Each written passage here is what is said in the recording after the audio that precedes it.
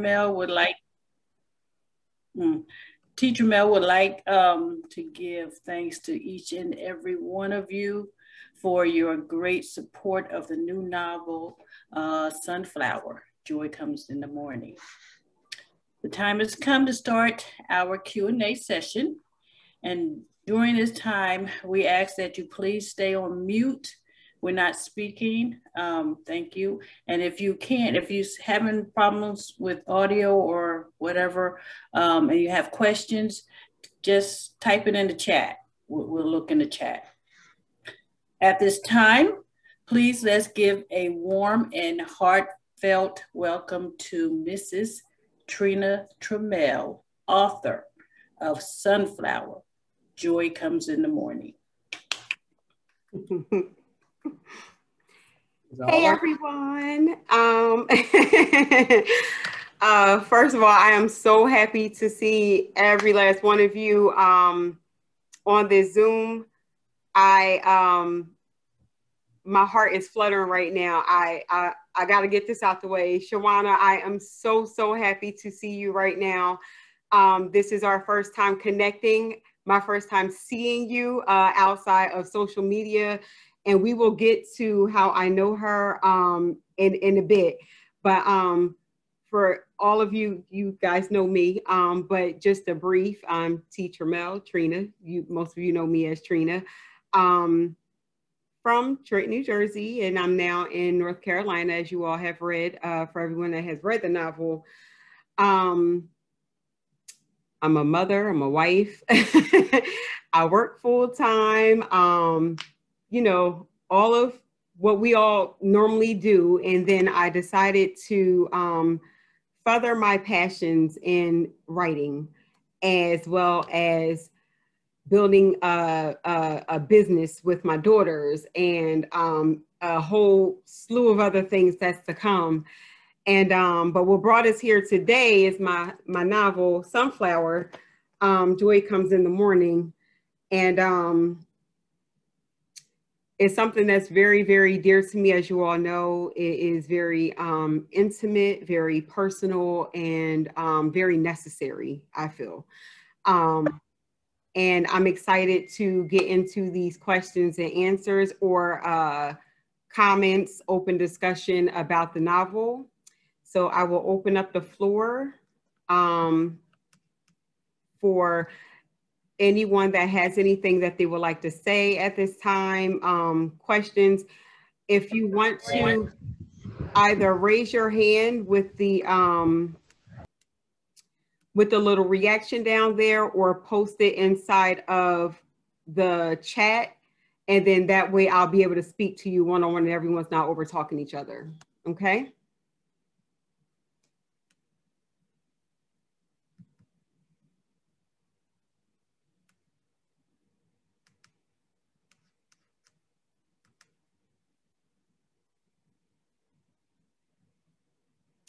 So while you are all getting it together, um, I do have some questions that came by way of email for those that were not able to join the um, Zoom meeting. So as you are all figuring it out, I will go ahead on with these questions here, or I'll start with one. And then um, if anyone want to piggyback off of it or chime in, um, this is from Amanda C. from Trenton, New Jersey.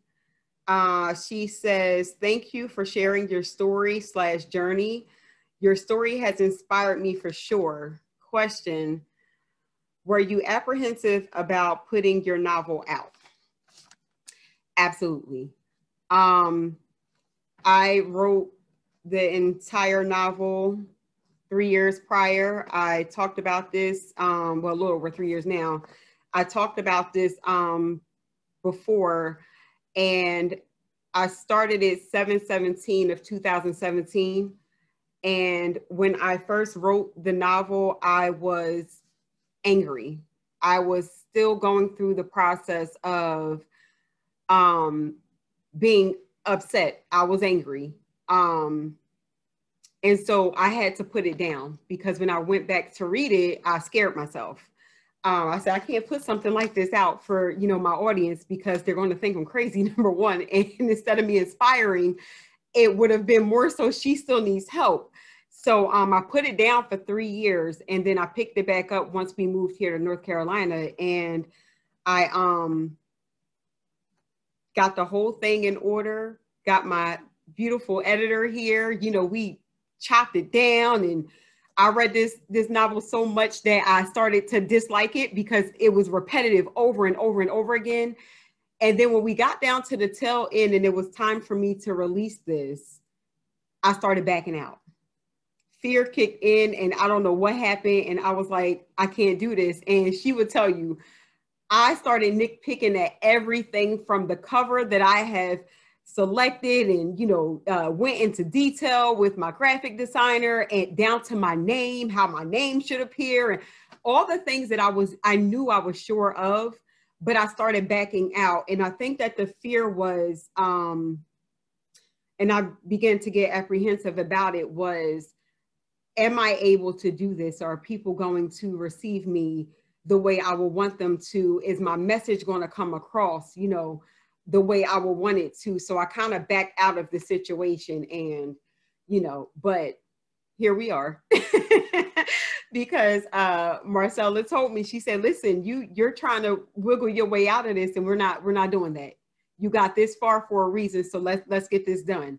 And so I had to go ahead and um do what I had to do. I see a question here in the chat. Marcella, you want to read that off? I can't hear you. I'm sorry. Um, hey, Trina, it's Chell. You already know how I feel. My question is where do you and Marquise stand with his family today, or more so, your relationship with his family? Good question. And that is a duplicate. So I will cross this off. um, wow, that's a loaded question. So I would say um, where we are today. My, I want to be careful with how I answer this. My relationship with my mother-in-law, I feel like we um, we respect each other's uh, place. I am Marquise's wife and she is his mother. And so we respect each other's uh, space and, and each other's place as to who we are. Um, I have forgiven some of the things that, well, I'll say I've, I've forgiven um, things that have taken place, things that I feel like it could have gone differently. Um, and I've, I've accepted the fact that everybody's not meant to get along. Everybody's not meant to like each other. Um, but I will come with respect and you come with respect. So um, I say that we are in a um, peaceful place because I'm not having it any other way.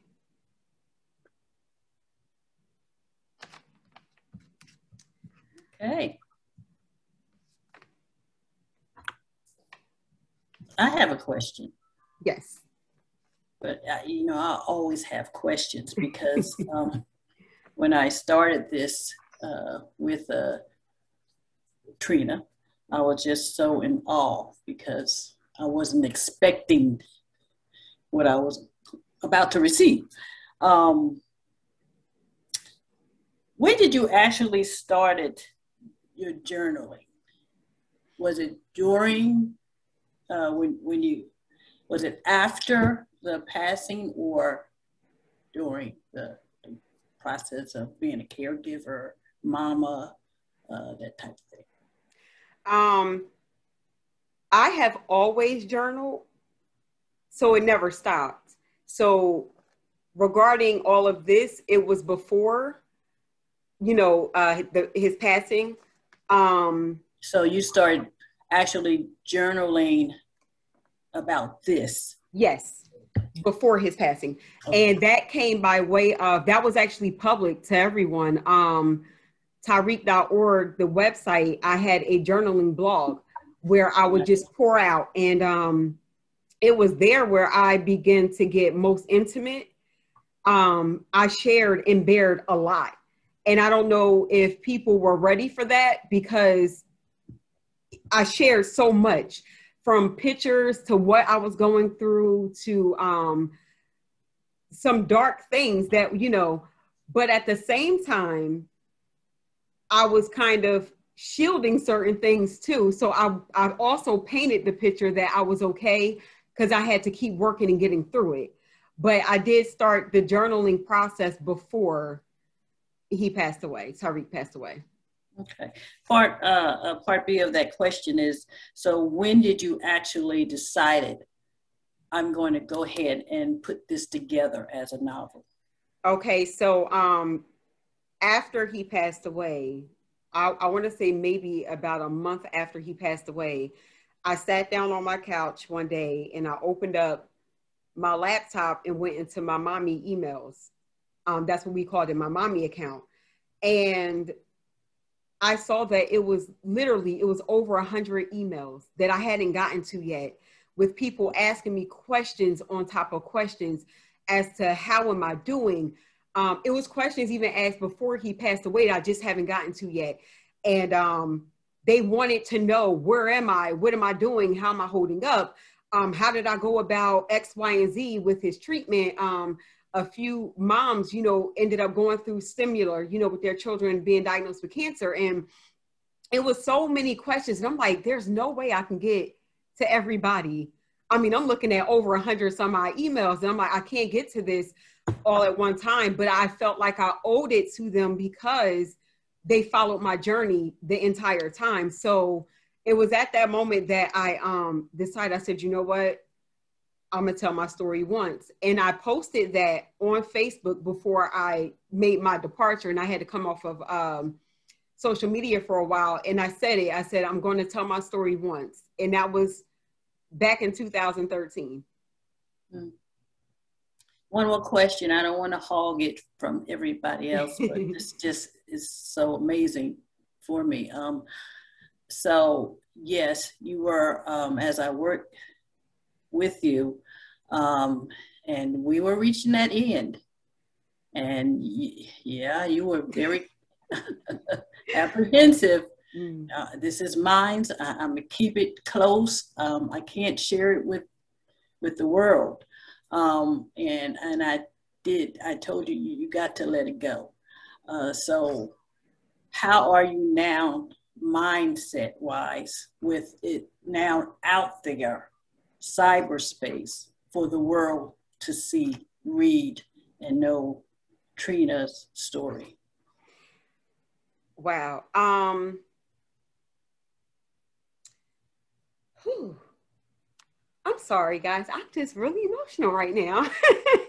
and you should be. You should. Yeah, be. it is. Um,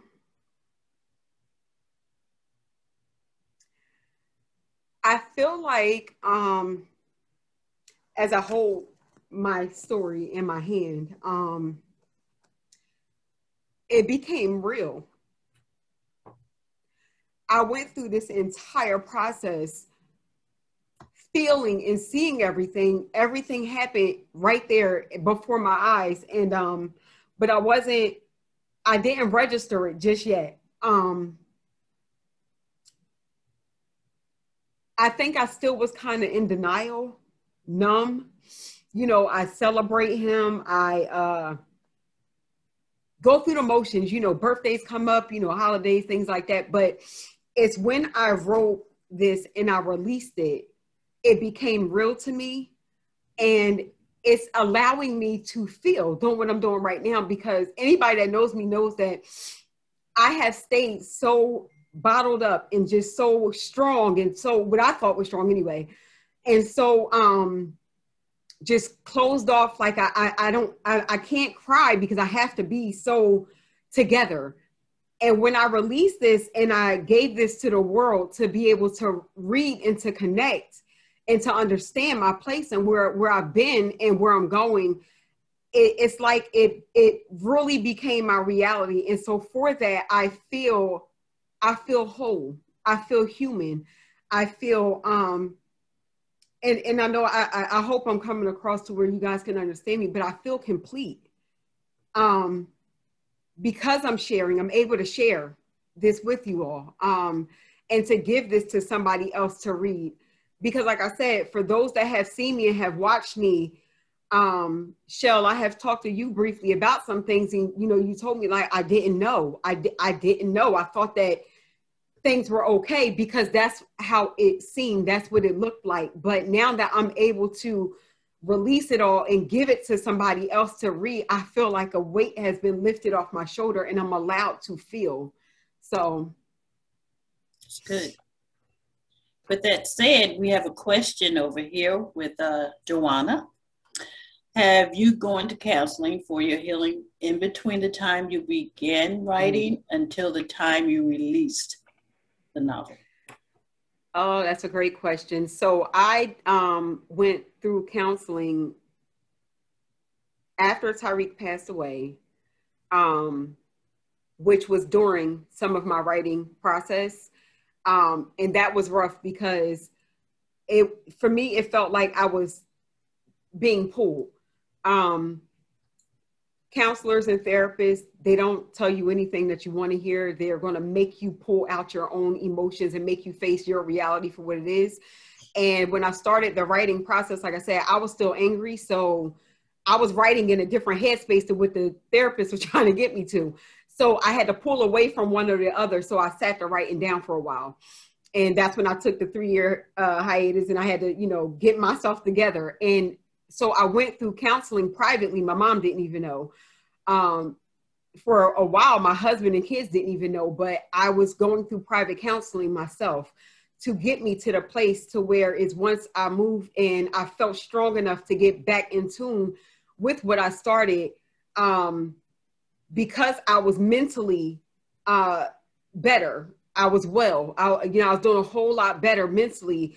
I was able to go back into um, my writing, so it it came off way better than what it started.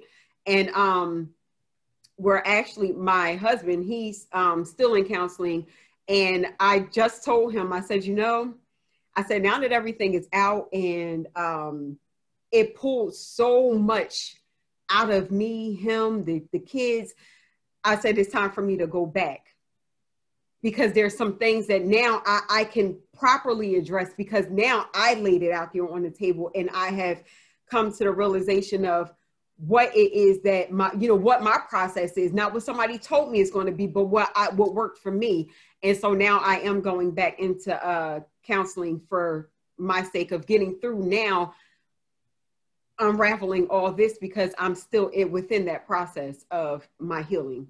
So okay, I don't see any more um, questions here, so we can go on with your list. All right. Um, Okay, so from Wendy M from here in North Carolina, uh, how did you go about ending relationships or friendships that no longer served your purpose? Um, that's a good question. Um, as I went through weight loss, I went through my counseling, I went through um, spirituality, my spiritual journey, uh, connecting with God on on um, different uh, planes, should I say? Um, I noticed that some people just started dropping off like flies. Um, no arguments took place in any way, shape, or form. No uh, disagreements, but I just noticed that I changed, and everyone wasn't ready for the healed Trina. Um, some people like to see you at your lowest because it make them feel up here. And the way I went about things to free myself from trying to fit into circles that I just did not fit into, I just let it go. I prayed and I let it go because it no longer served me. These people no longer served me. And and it was God's way of saying they can't go with you on this journey, just like you can't go with them on theirs. It just wasn't in alignment. And so what I did was just I prayed on it and um I had to understand it's not a loss. I have I'm moving forward with my life. So if certain people don't fit into that, I have to be okay with it. And I had to choose me over the relationships. So that's that's how I had to go about that.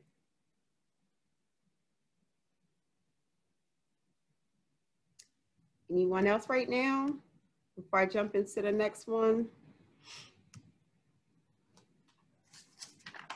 All right. Um, from Jazz uh, in Trenton, New Jersey, how are things going now that you have moved to North Carolina? Do you get homesick? Um, well, I go back home so often, uh, I can't get homesick. Um, things are great. Um, I spoke about this in the novel. For some, I can't speak for all, but for some, you can't heal in the place in which you became sick. I was so low. I was so beaten down. I was so mentally drained. Um, I thought that I was never, ever going to be able to leave the house in which everything happened. I wouldn't be able to leave my hometown. I wouldn't be able to leave, you know, everything that I knew to be home. And that wasn't the case for me. Um, I needed desperately to get out and I didn't know how to go about it. I needed to choose me, um, even above the people that I love the most in life. Um, I just had to, I had to break free from all of that. And I had to start really working on me now.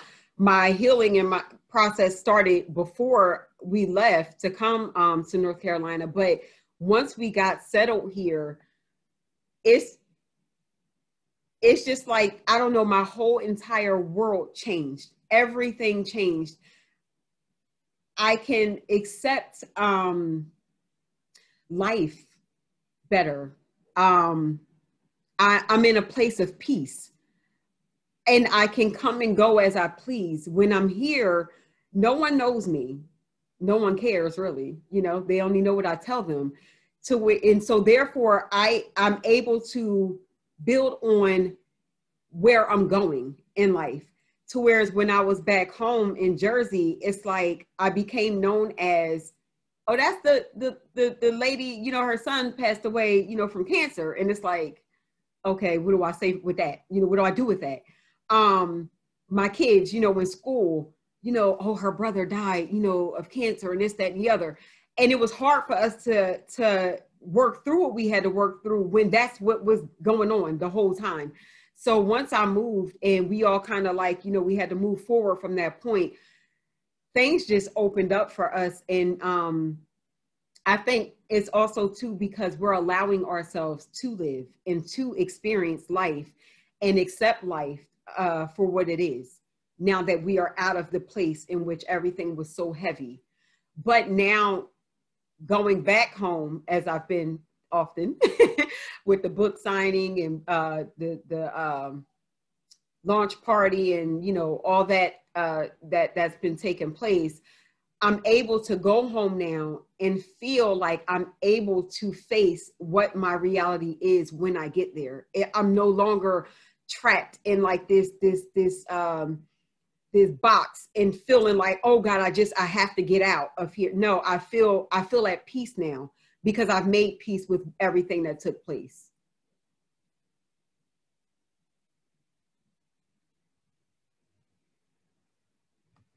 All right i see another question in the chat. got it. Uh-huh. Mm-hmm. yep i got it. Um, from kiana how does Mar feel now that the book is out?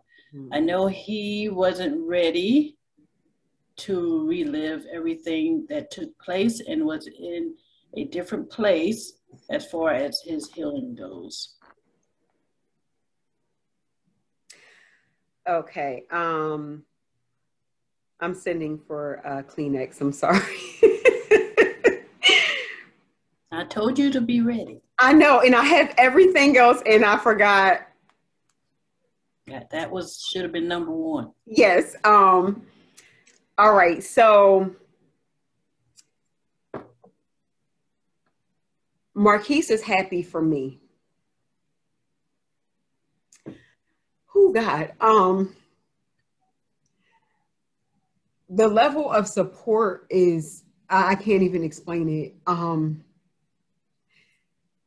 that man will do anything for me and his children. And when I told him back in 2017 that this is what I was going to do, he never rejected the the process. He never said no i don't think this is a good idea. He never said anything um that would hinder me from doing what he knew that i needed to do it wasn't about him it was about me and what i needed because as i learned from my pastor uh pastor wormley we will not heal the same way.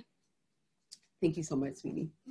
We will not heal the same way and um, we will go through a different process and a different journey. And the only thing that we are required to do as husband and wife is to support each other through that.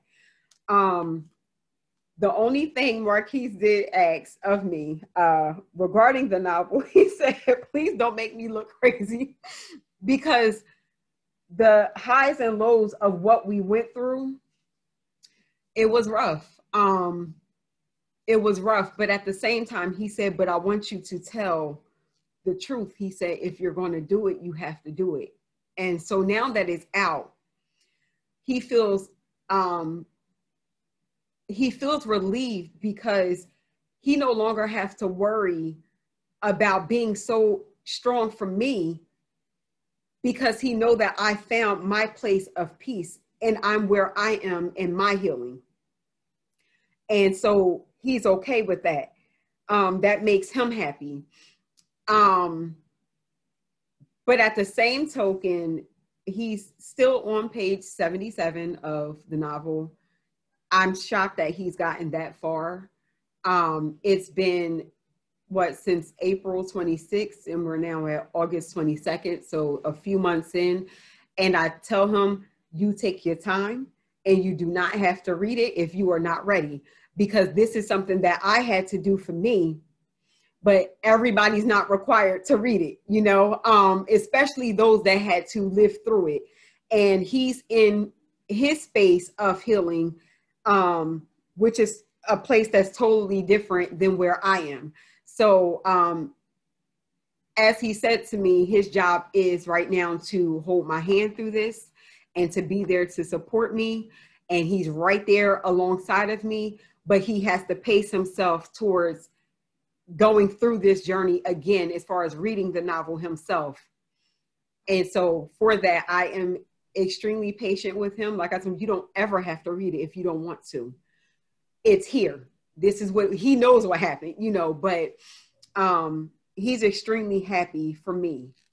Uh I asked him, I said, You gonna do a cameo? You gonna stop through? He said, I'm here in the back. he said, But you do your thing. He said, But I'm here to support you if you need me. So okay. Uh, we have another question, and this is from is this Shell from Mar- Marcellus Galaxy? Yep. Okay, okay. Um, how has your siblings been coping since Tyreek's passing? That's a good question, Shell. Um, so, and you mean my siblings, right? My brothers? Okay. So, you know Tony, look, however which way you know. That's my twin. I call him my twin. Um, we are the closest in age, and he he is my children's godfather. I told him, I said, if anything ever happened to me, you and Marquise better get y'all bromance on because y'all better raise my kids. He's been that person since day one. Um, he was Tyreek's second second dad. He he was so much more than an uncle. I don't know how he's coping to this day. He don't talk much about it. He um he had one breakdown in front of me before his wedding.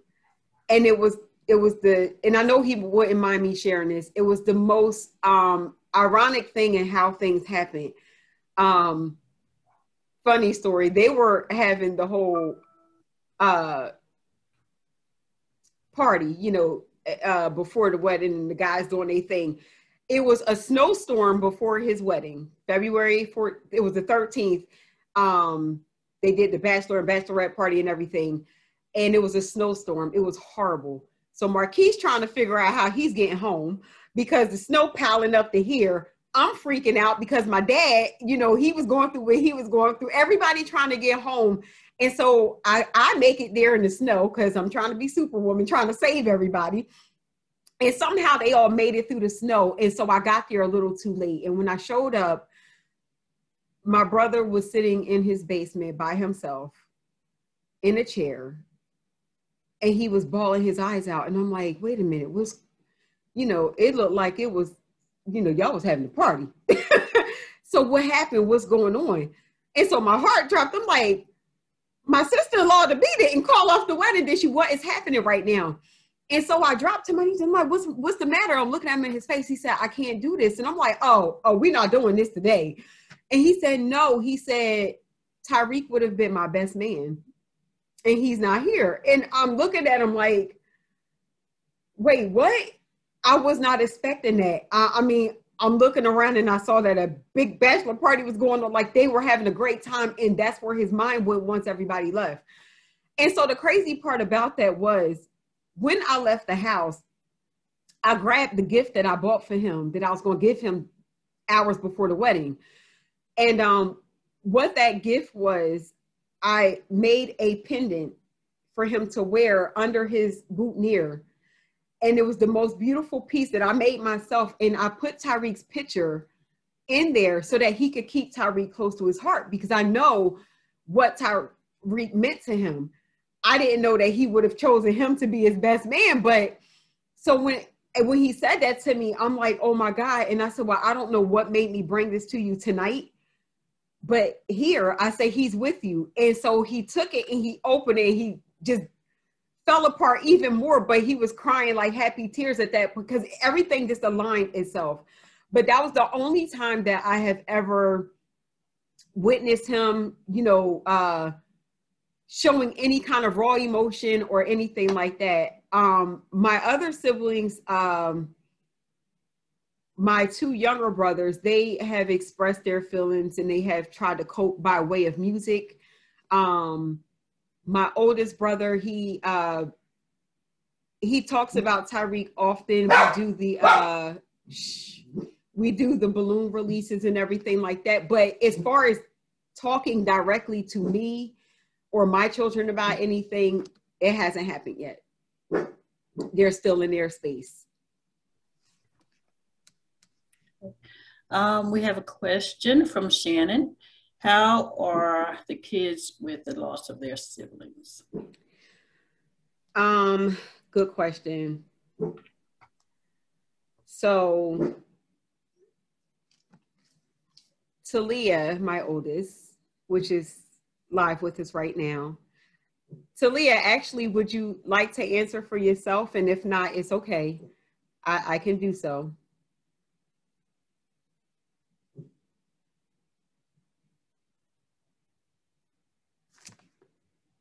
all right, if she's going to chime in, I'll, I'll uh, let her as I speak. But um, Talia is, she has gone through um, she has suppressed what has happened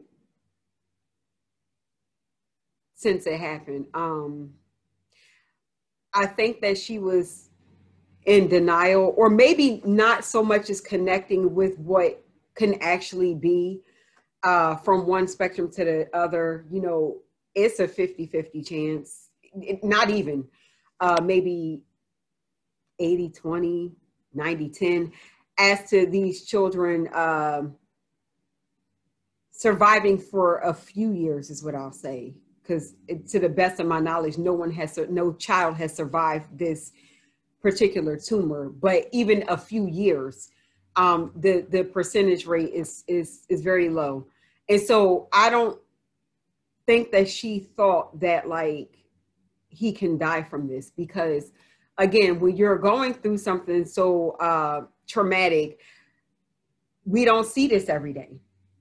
It doesn't happen to us every day. So you know it's like well no he has to beat it because you know stuff like this don't happen to us. And um so i don't think that in the beginning she really connected with what the odds could be. And then when he passed away as you all have read um she was there. She was present. Um in Tyreek's true fashion he waited for his sister because he gave her always such a hard time that was his older sister and they fought like cats and dogs but they loved each other even harder and um it was always her that he went to when things were um when things were tough. He went to his older sister. So he waited for her uh, to be present before he made his, his exit. And so she experienced losing her brother up close and personal. He was in her arms. And so, um, fast forward to eight years later, she is still trying to figure out how to allow herself to connect to feel, to remember. It's a lot of things that she doesn't suppress so far deep down because she's afraid to feel what it is that she's going to feel. It's a scary process. It's scary because it gets dark, it gets scary, it gets low. Um, and so she's still working that out and um, even working her way up to receiving counseling because again it's a scary process to get there um, to allow yourself to feel. So she, uh, her personal life, she's doing great, you know, graduated college and, you know, has so many offers going on. But when it comes to um, celebrating certain things, because she's doing so well, she still battles that, you know, I'm doing well in life and, and uh, I know my brother will be proud of me, but, you know, can I can I allow myself to enjoy it because she's still kind of in that space where she's trying to learn how to deal with everything. Um, Trinity, she broke down for the first time in my arms in 2020. Um, and during the process of me writing this novel, I was actually finalizing a few things and I was getting their own words. Uh, these are their own words in in in that section of the book, and um, she had to tap in. And the part that scared me was when she told me. She said, "I been holding this in for so long because." I couldn't upset you. I don't I didn't want you to continue to cry because you already lost a child and then if I cry to you, how are you going to be strong? Because now we're all falling apart. And that scared me because I, I don't want my children to hold back what it is that they need to feel. You can go crazy behind something like this. And to know that they've been suppressing this for all this time because they're they're trying to protect me. I'm like, no, no, no, let me be mama bear. You know, I'm trying to take care of you. And so I saw that that was a pattern that we've all been going through. I'm quiet because I got to take care of my husband. He's quiet because he got to take care of me. And then we're trying to take care of the kids, but then they're worried about like it's just this vicious cycle that constantly goes around. And the only way to break that cycle is to open up our mouths and sit down and talk about it.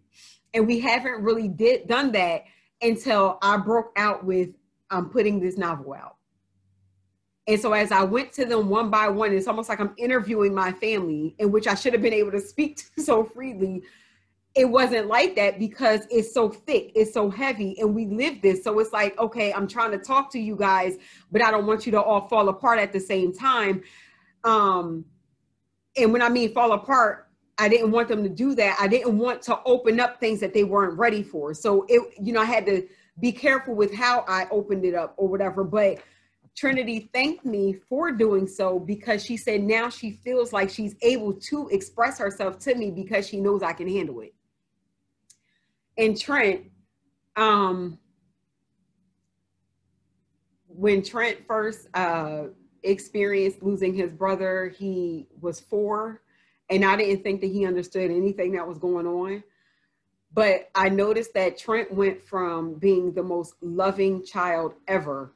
I mean, that boy would give me kisses to the from sun up to the sunset. And he would tell me he loved me all the time. And he was just so loving. And when Tyreek passed away, I would say, Trent, you know, I love you. And I'll kiss him. And he'll just hunch his shoulders and just stare at me.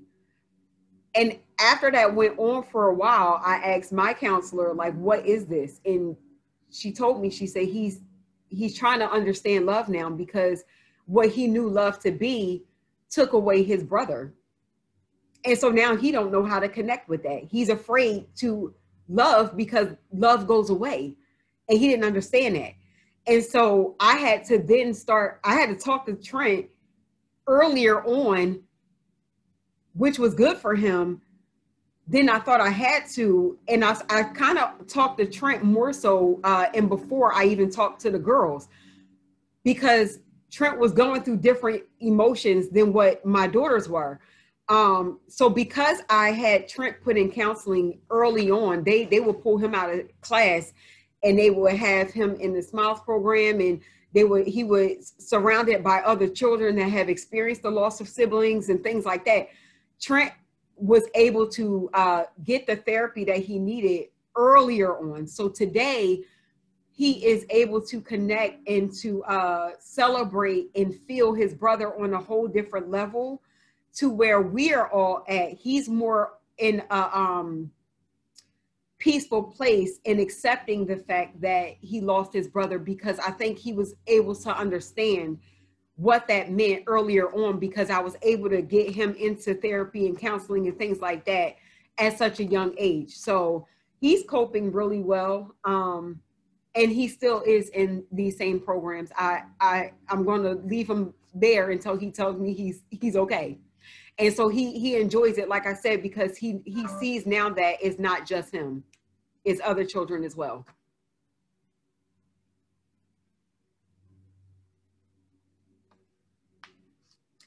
Anyone else before I answer another question? I do not see any more questions out there. Okay, um, I'm gonna save that one. All right, so this is more so a comment from Jessica from Hamilton, New Jersey. Chapter 12, when the chicken stops frying, exclamation point. I love how you were relatable with your words and all throughout your chapters, this chapter was so real and it hit home for me. Um, that was the realest thing that my pastor have ever said. Um, and at first, when he said it at the funeral, you know, we are in the middle of the service, and he said, When the chicken stops frying, it's going to be you. And he pointed to me, Marquise, and our children to be there to um, deal with what you had to go through and I I didn't understand what that meant at first, and I'm like, well, what chicken got to do with it? You know, I was looking at it literally, and um, it wasn't until the funeral was over, the repast was over, the house cleared out, and things got quiet. And you know, you we had mom and dad, and you know, our siblings was in and out, but people had to go back to their own lives, rightfully so. And um, it was just us, and I didn't know how to handle it because it was hard to deal with just us. And um, I did everything in my power to avoid it just being us. And I moved my cousin, which Kiki, uh, Kiana McClendon is present. um, she was going through something, uh, and I was going through something, and we we had always been so close, super close. And um, I moved her in to my home, and I don't know what I was thinking because here I am, literally going through the worst time in my life, going through things that I can't even couldn't even express at the time, and I'm moving in a whole family member with two twin babies that are my god babies. And that was a recipe for disaster. I mean, it was the worst decision that I could have ever made because I was going through what I was going through. She was going through what she was going through. And then we started butting heads. It just wasn't working out. And I was avoiding what I knew I had to face with just the people that were there. And she was avoiding having to grow up and to stand on her own two feet as a young mom, you know, uh, with about 22, 23, you know, raising her two twin babies and trying to get her life in order. And so once I cleared my home again, you know, and she had to stand on her feet and I had to face what was going on with me, I then it clicked and I said, okay, here's what Pastor was saying.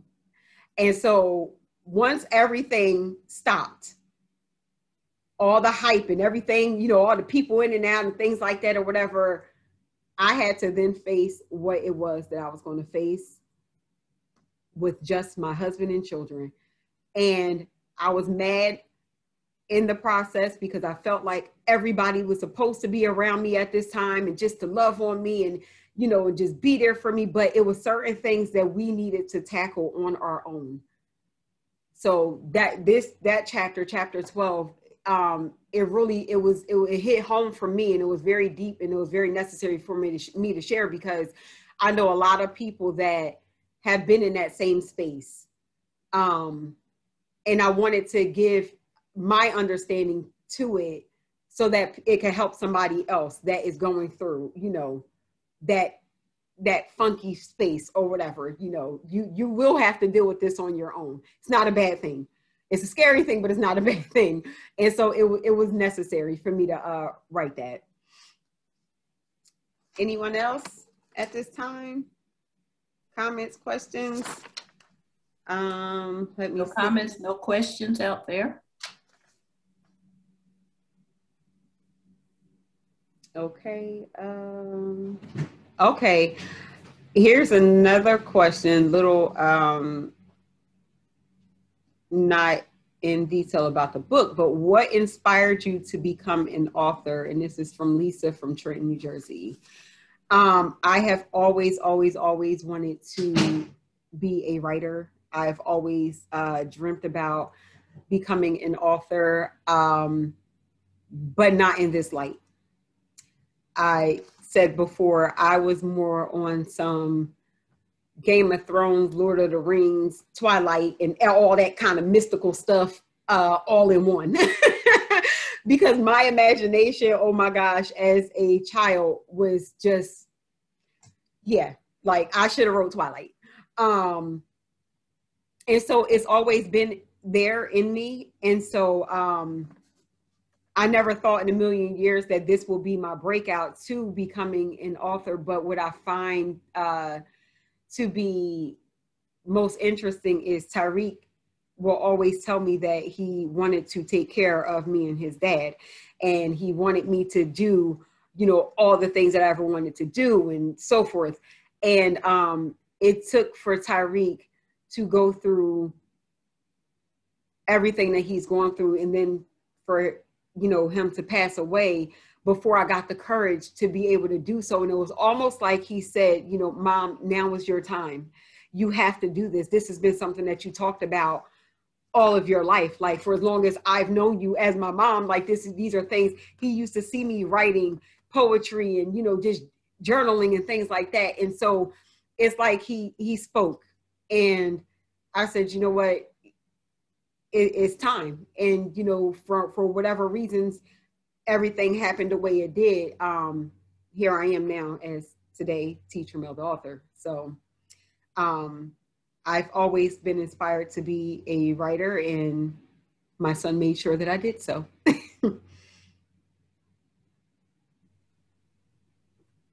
Anyone else at this time? Mm. All right, here is a deeper question. Um, do you wish that you could have done anything differently within your process? Um, this can be such a loaded question. Um, I will say this I can't take back anything that has already happened. But what I will advise to anyone that is going through anything um, remotely close. Pace yourself. Do not rush your process. Um, do not do things to please others and um, do things how you want it done. I was thrown into the fire of sharing my story, which I don't regret, regret because if it wasn't for me sharing, we probably wouldn't have made it. Uh, and I'm talking about everything. The community literally stepped in and took care of my family. Um, I, but I don't think that I should have done certain things by way of allowing for so many people um, to just have say so or input. Um, I'll just give a brief example. The way the funeral happened, I was so numb, I was so disconnected. And it was because when I looked around and I appreciated all the love, all the support.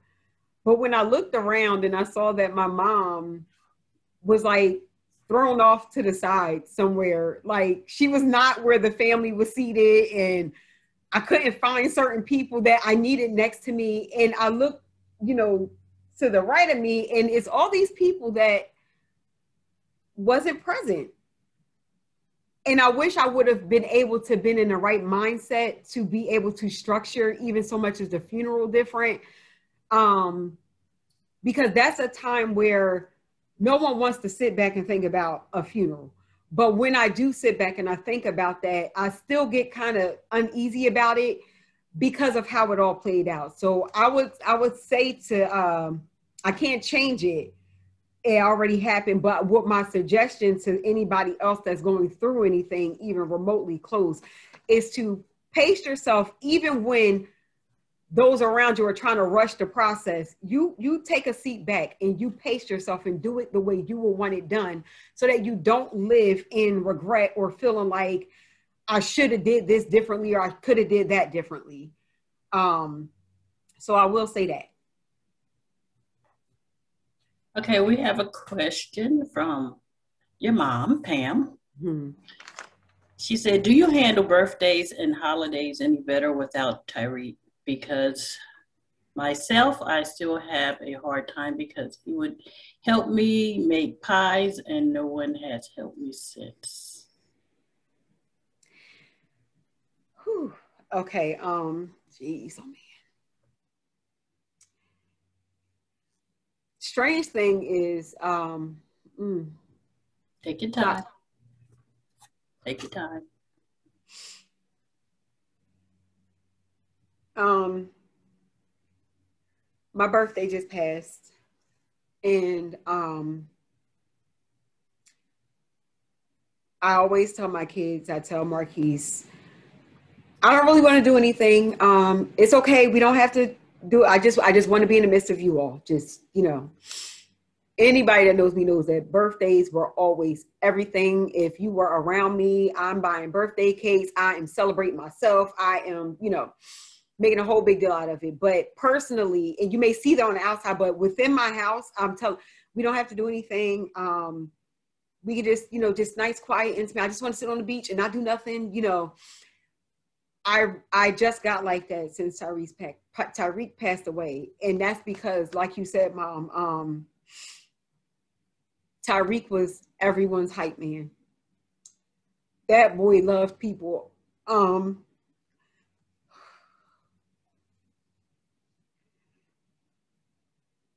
I remember birthdays for all of us where I will come home from work because I always work my birthdays, and um, he would come bussing through the door. Mom, it's your birthday, mom. Oh my God. We got a cake in there. And he would tell me everything that they bought for me that was supposed to be a surprise because it's wrapped up in bags and boxes.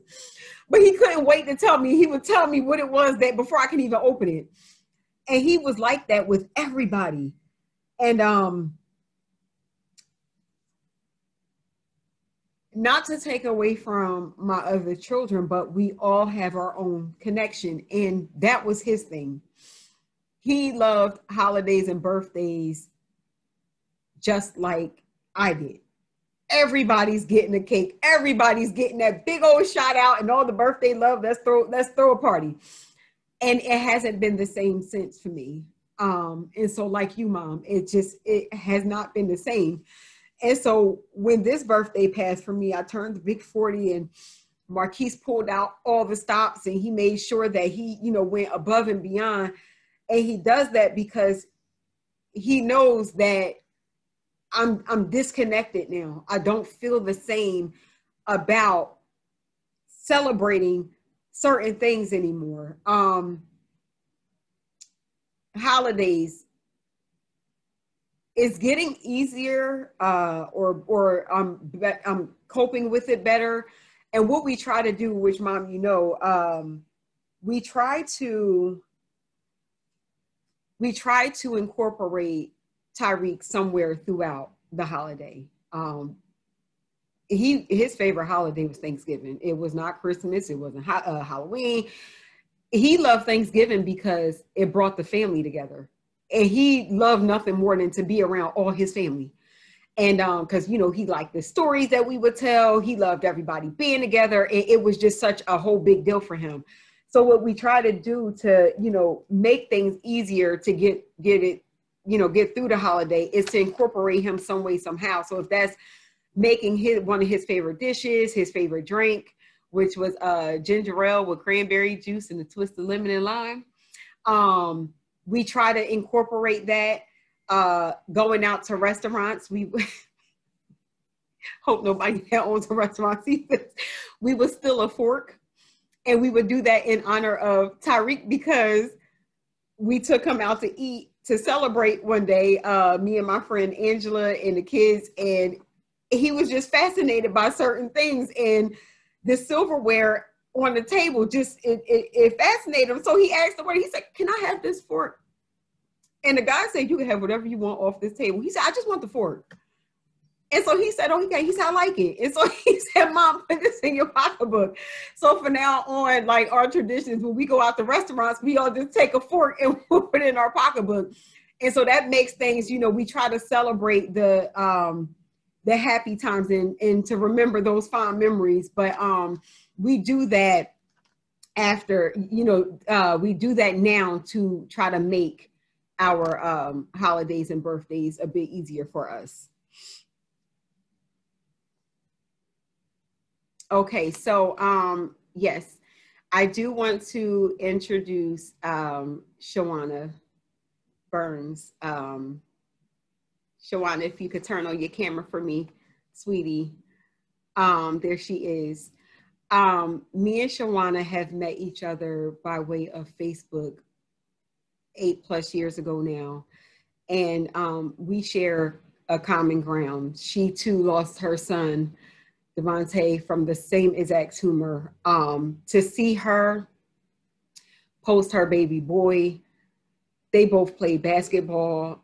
Um, wore the same color jersey, which was the scariest, eeriest thing for me. Um, I was in awe. It felt scary because I'm like, they told me that this tumor was was rare. And here I am looking at a woman that is going through the same exact thing and she lost her baby as well.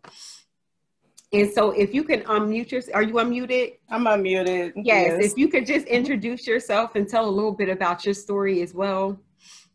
All I can say is, uh, yes, we, we met online and I too was like, you guys said this tumor was rare. So when I saw like another black boy, especially, I'm looking like, okay, now like this isn't as rare as they said it was, but social media wasn't really as popular back then, so I only mm-hmm. could go mm-hmm. off of what the doctors told me. But I just felt like connected to you, you know, just kind of from seeing your story and seeing the similarities that we have with both of our children and you know the things that they like. Like they were my son. When I say he was just so perfect, so I cried reading the book. I read your book in about two days. I, I cried like I like not sad tears, but sad, happy. I was just I felt all of that, all of everything you felt, I felt it because I was just like, my son was so perfect, and I'm just like, God, I'm like, this boy just from the moment I was pregnant with him, it, I just had everything was just so perfect about him. He loved everybody, everybody loved him, everybody wanted to be his best friend. So when I, you know, saw Tyreek and I saw like a lot of the similarities, I'm just like, oh my God, like I just couldn't believe it. Like, you know, this is some you were on a trip when yours happened. My son, I don't know. I think he was playing football at the time, so they thought he had maybe had a concussion because they said he wasn't acting normal and he was like staring off in space.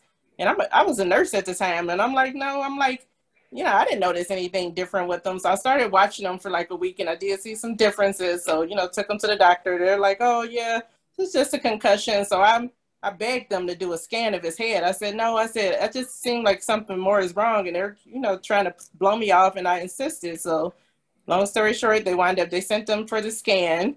We went for the scan on a, it was a Friday. I remember it was a Friday in October and got a call back a couple hours later from his pediatrician had called and she didn't, you know, when the doctor called you eight o'clock at night at home, I know it's not good. So being a nurse was kind of hard because I kind of knew, you know, a little something about, but I didn't know anything about brain tumors, of course, especially with no kids. I, with my knowledge, I didn't. I only on the commercials, I only saw like white kids with stuff like that at St. Jude's commercial. Like this don't happen to black people. So that was that was me back then. So you know, long story short, uh, tried treatments, tried everything we could. You know, I was also pregnant at the time too, which really added to my sufferance. I'm pregnant with this baby that doctors told me that I couldn't have. Got pregnant with a miracle baby, and it was just like nine years difference with my kids been being pregnant. And I too, Devontae had an older sister, uh, Tony. Uh, they're four years apart. So I'm like going through all of this pregnant. So my son, you know, he was very selfless. He told me, "Don't worry about me, mom." He said, "Worry about that baby inside of your stomach." Mm. So when he told me that, I was just like, "Oh, okay." Like, so I had to stop all my crying and toughen up a little bit. And he went through everything with pride and you know, I, I, I beat myself up because I wasn't there the day he passed. My husband and I would never leave his side. It was always one of us with him. But the day both of us decided to leave, because we were just like, okay, we both need a break. We got to get out this house. Is the day he decided to transition. So when you said that Tyreek waited for his sister, I truly believe that people wait for the right person because it was my mom was there and my sister-in-law was the last person he saw. She came in and that was the last person he saw before he closed his eyes and you know, pretty much went to sleep. I'm glad he didn't have to suffer, but I just beat myself up for so many years. Like I should have been there with him. You know, why did I leave? I was also in grad school to become a nurse practitioner and I wanted to stop going to school, but he made me promise that I would finish school. So as a promise to him, I finished grad school and Lord knows, I don't, I don't even know how I did it. Sometimes I just say, just the, the grace of God and, and my son will always be my angel. But I have, I too have started my story several times and stopped it, but you have given me the motivation and courage to go ahead and wrap it on up and put everything into thoughts because I feel like you, like people still like ask me stuff and I just, I get tired of answering questions. And now that my son Justin is at, he's in fourth grade. So he's at the school that Devontae was at in the fourth grade. So the school systems, they were, my, my community was very, they did a whole, they did so much for us. So they wound up putting a plaque in the fourth grade, uh, I guess like the playground with Devontae's name, like in his honor. So my goal was to move before Justin went to that school because I didn't want him to have to go to the school and be the, you know, oh, person whose brother died to have to go through that. But since I guess he was six months when his brother passed away, so he speaks so highly of him. So he he's proud that his brother's mm-hmm. plaque is in there, like you know. And then I had another son two years after that, another little bonus surprise baby. And they speak of their brother like in the present tense, like they know him. Like we celebrate birthdays Christmases, like everything we, we celebrate. They, you know, I personally mourn the day of his death by myself. I don't like to celebrate per se, but I, I you know, we all do our own things, kind of, yeah. sort of get together, eat his favorite food. But Trina, I just really just say I just really commend you for, you know, writing this book and telling your story. And I I watch you too. Like I I guess we just watch each other, and it's nice to finally like physically see you. And one day we're gonna meet in person. I'm gonna come yes. see you or you can come to Cleveland or something, or we can yes. meet in the middle. But it's just like I, I don't know. I, I married my high school sweetheart. My husband, Lord knows, when all this happened, I had to be the strong one, and it was hard trying to be strong. Like you know, I'm trying to keep my family together. just like I promised Devontae, I said I'm going to keep us together no matter what, and that was a hard promise to keep. But by God, we are still standing here all these it'll be nine years in September since he left and I'm saying we're still here and you know there's not a day that goes by that I don't think about my son but I, I, I feel him all around me and I just you know I just want to honor his legacy because I feel like you know God gave him 10 years and he's he's still using us to keep things going so that that number that 10 like it's just like so many significance of that number to me. So I, I don't know. That was just long story short. And like I said, my daughter is 23 now, and and you know she she too is kind of still like I couldn't force her to do the therapy thing, but she still has like you know I think she has a lot bottled up because she didn't want to upset us. And I told her you know it's okay to talk. And I personally never went through grief counseling. I, I wound up joining a support group with other mothers whose sons and daughters had the same tumor, and they were kind of like my support and kind of got through a lot of things with that. And and and we just as moms like you know, once everything's said and done, nobody wants to, nobody, I mean, it's not like they don't care, but nobody understands unless you've been through it. Like, you can't compare losing your son or daughter to like losing your grandmother or somebody that, you know, lived out their years the way it was supposed to. Like, when a child goes before a parent, that's not normal. So mm-hmm. it breaks the whole cycle. So it just makes everything just goes like completely different. So you just have to, you know, try to figure out like how to cope. And, you know, people mean well, but time does not heal all wounds because my wound will never heal until I meet my baby again. And I said, hopefully I'll be an old lady one day when, when it happens, but it, it just doesn't, it doesn't heal it. I mean, I've learned to live through it. I have my good days and my bad days, but you know, reading your story, like I say, I just, I really commend your courage. Your book, it was excellent. And I'm, I'm glad you did it. And thank you.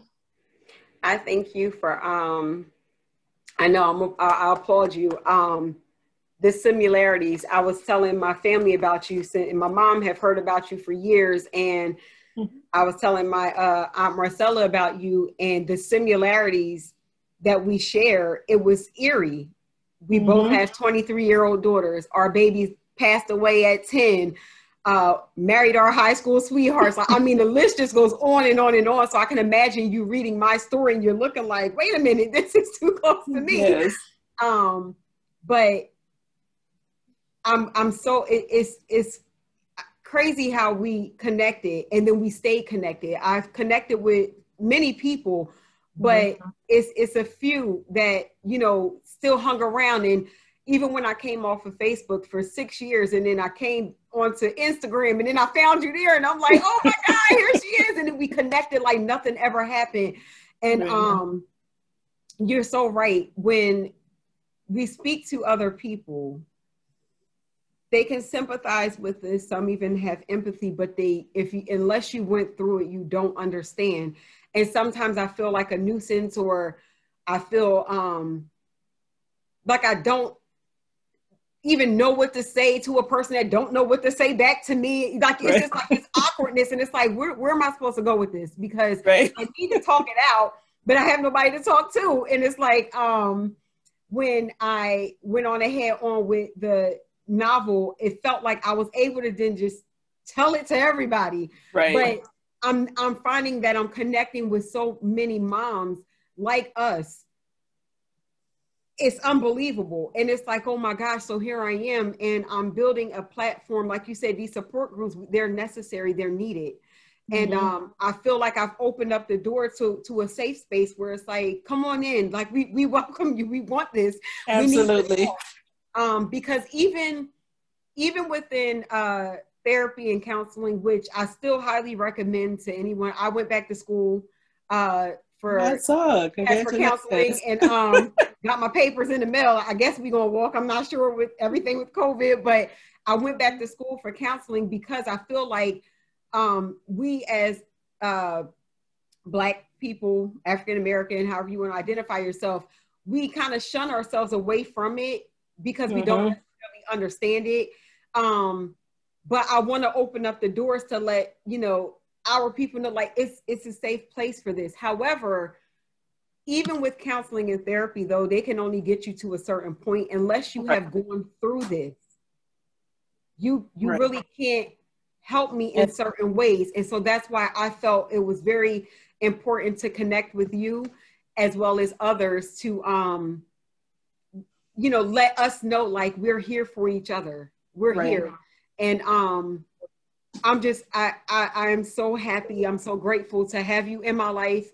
And um we chit chat here and there, and you know, we root each other on from afar. We celebrate our babies' birthdays. I see you post uh Devontae, and I'm like, oh my gosh, it's his birthday today. And you know, we do the uh, brain tumor awareness month and stuff like that. Yes. Like all that stuff gets us through and it's the little things and um, I'm just so grateful to have you uh, in my life and to be able to. And it's bittersweet because I hate that we have to share this common ground, but it's sweet because right. we have each other. And um, yes, we do. Yes. And I just, I just say our boys are playing in heaven together, yes. and I just like just you just have to think like, okay, they're they're not they're just them again, and yes, they'll always be right here. Yes. Mm-hmm. Thank um, you and with that being said, uh, as I spoke with you before, and so I'm going to uh, say it to you all, I will be having um, candid conversations. Uh, I'm going to start with uh, inviting a guest or two um, to these conversations, in which we will uh, do on my um, like vlog on uh, the T Square on my website, and I'm going to um, open it up with the five steps that I have used. It's right here on the back of my novel here. Um, the five steps to my healing process, and we'll talk about the acknowledgement, ownership, accepting the process, growth, and the ability to move forward. In which, uh, Shawana, I have talked with you before. I said I had something cooking up, and you know I want you to be a part of it. So um, we will be further discussing uh, more in detail of my process um, okay. along with the novel. Um, so I want you guys to look forward to that. Uh, before we close and I ask this last question, uh, I'm gonna make sure nobody else asks it before I read it off. Does anyone have any closing thoughts or anything um, that they would like to say? Any questions, uh, comments? Okay, so I'm not a a talker. Neither am I. That's why you're my niece. that I'm gonna cry, but I just oh wanted to say thank you. Because even when I was there through the process and even through everything that you went through, you accepted me and my children into your house. Even though it was a recipe for disaster. I feel like it made me who I am because here I sit in my own house and I, I don't feel like I would have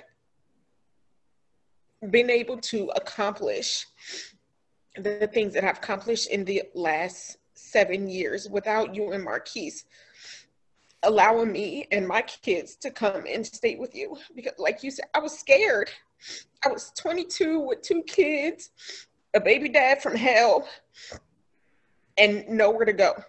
I had $400 in food stamps and $200 in cash and two kids. Like, I didn't know what I was going to do. And y'all let, let me come to your house and figure it out. I had to figure it out quick.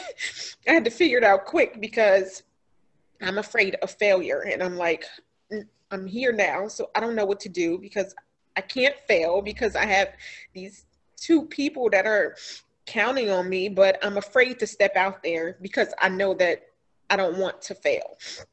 And you pushed me, and I, I just want to say thank you, and I appreciate you, and I love you, and you are truly not only my cousin, but my best friend.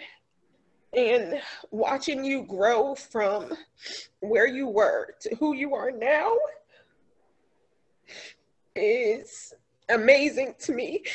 And if I could be half the mother and the woman that you are,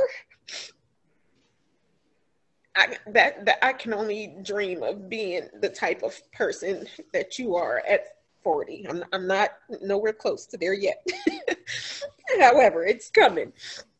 But I I just pray that the morals and the values that you possess that I could that you just you know float them in the air and i could just catch them and be half of the person that you are and i just want you to know that i adore you i adore your kids my kids adore you and your kids and no matter where life takes you I'm, i'll be there.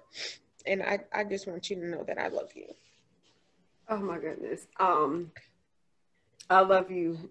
I love you just the same. Um, and when I say it was a recipe for disasters, because we had no clue as to what we were doing, but I thank God it happened because as you stated, you may have not been able to stand on your own two feet had you not had the right person to push you. Sometimes it takes somebody else.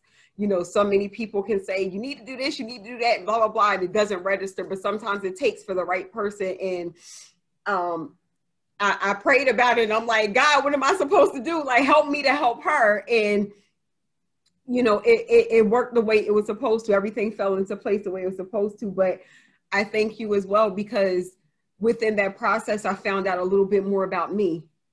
Um, I'm a selfless person. I will help anybody um, that I love. And like I said, me and you have connected since day one, since we have connected, what, 2006, seven, something like that on Facebook. And I'm like, oh my God, there's my cousin and we went joint at the hip ever since. And likewise, you're you're my best friend, and um, it was necessary for what happened for whatever reason. God aligned it to happen the way it it, it did because it was something that we both needed to get out of that.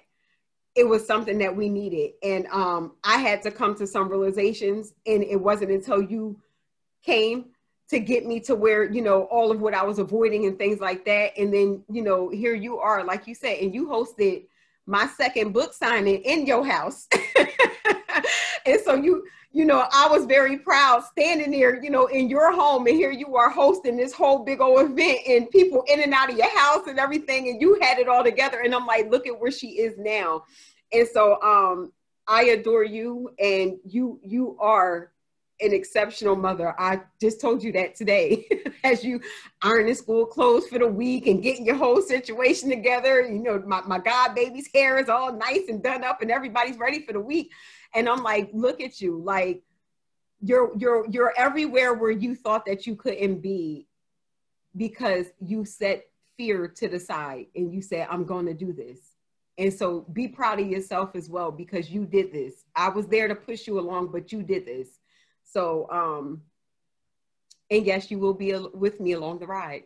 So get ready. Anyone else? Yes, can I say, first of all, that recipe was not a recipe for disaster because as you see, God uses people and situations, you know, for the good. So that recipe was definitely a recipe for success for both of you guys. Um, Secondly, I, I, I like to say, um, Shawanda and Trina, that that 10 is a powerful number. Powerful number symbolizing completion. Um, it, it, blew me away when um, we was talking about birthdays and I'm going through this process with uh, Trina and I was born on the 10th. So here's that number 10 again. Um, and we just recently put that together. Um, Trina, I have the last question before you close out, and you know where this question is coming from, who is asking this question. When or if the book will be audible? I know. he told me to actually, make sure yes. ask that question. I am actually uh, getting with my brother Tyrese. He is uh, the one responsible for that lovely trailer that uh, he put together, uh, introducing the book. Um, we just actually uh, talked not too long ago, and he said, I have to get you in this studio, and I'm not going to tell any stories. That is a scary process. I thought writing this was scary. I have to read word for word, play by play this entire novel and that's going to take me through a whole nother range of emotions and so but i told him i said i don't want anybody else to touch this though because as she said this is my baby this this is this is mine and so i looked into having someone else read it you know they let you listen to their audio. And I'm like, nope, she don't sound right. Mm, no, no, her emotions ain't coming across right. No, and then I came to the realization I have to be the one to do this. It has to come from me. And so we are actually gearing up for this. I told Marquise, I said, um, either he's bringing the studio here or I'm gonna have to leave for about a week and go there mm-hmm. because it's gonna take just every, and I'm praying that I can get it done within a week. And so the mister said, well, when he flying in because I'm uh, you've been on the road too much. so we are definitely getting this in order. We just talked about this not too long ago, and um, the audio is coming. It is coming. Yes. Anyone else? I'm Gina, Talia, anybody? I see you, Auntie. Thank you. Um, so the last question uh, before I officially close out, um, and thank you all, um, is uh, from Antoinette from Hamilton, New Jersey. I felt a spiritual connection while reading your novel. I am on a journey of my own, and you've helped me in so many ways. Question What is uh, next for you? So, um, so many things is happening for me. Um, we're going to keep our fingers crossed and uh, God's will, I'll be attending the Louisville, Kentucky Book Festival in October. My book has been selected. Oh my gosh. um, for the festival. And when I tell you that was a process, uh, my cousin sent me the information and I'm like, all right, well, I'll fill it out. But I'm here, I am this new author, not even knowing what my book is doing for anybody. But okay, I'll fill it out. And um, it was so many steps to the process, but when they emailed me back and they said, you know, we got your uh, entry and you know, the next step is to do this, and then they got to check everything and make sure you done crossed all your T's and dotted your I's. And the last step was for me to submit my novel so that they can, uh, you know, view it. They have to read it, and then they have to figure out, do she fit a place in here? And when I got the email back, uh, what two weeks ago, I was blown away, and I'm like, what? So um, I will continue to promote and to share uh, Sonflower. Joy comes in the morning. Um, I am working on my next, uh, I think this one will be a book and not a novel, but we'll see by the time I'm done. Just like I thought this was a book and it's a novel. but I have started my writing process uh, for the next book to come. Um, and not to give anything away, but um,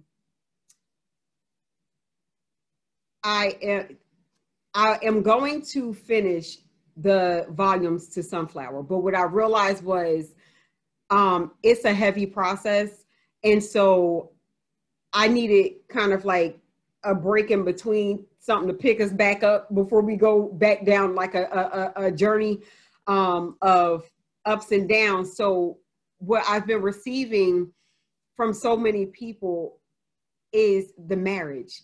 How did you guys do this?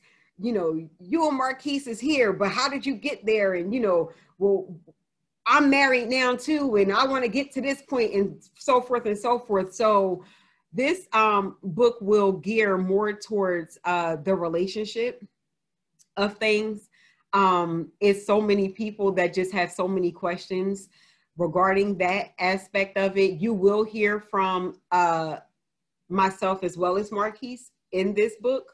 Um, and it's something to uh, inspire and to uplift our couples, um, whether you are married or not.